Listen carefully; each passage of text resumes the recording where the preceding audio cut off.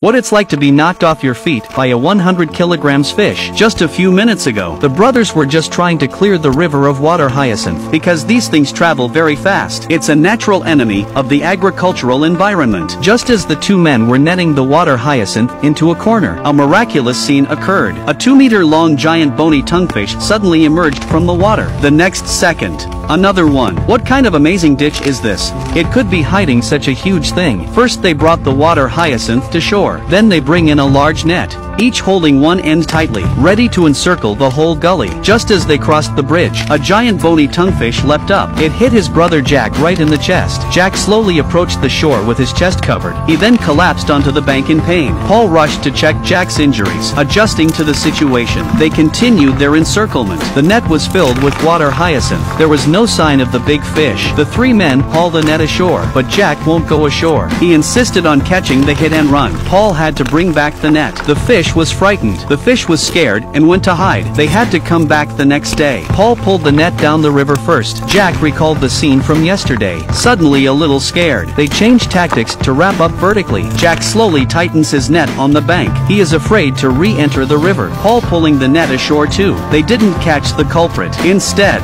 they've caught a few carp the size of the palm of your hand. It seems that a 200 pound fish is not that easy to catch.